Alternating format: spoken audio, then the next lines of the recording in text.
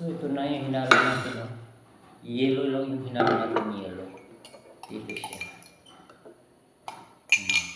Dagdagan natin ng beer. Yan. oh. Beer yan, no? Shackle beer. School, school bukol. Para pampawala sa pagod ba. Ganito yung ginagawa namin guys kapag pagod sa trabaho. Ito yung hinahalo namin. Itlog na bisaya.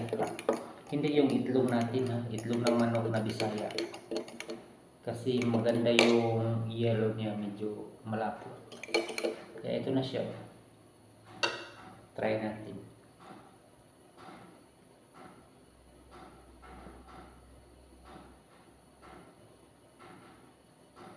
Wow.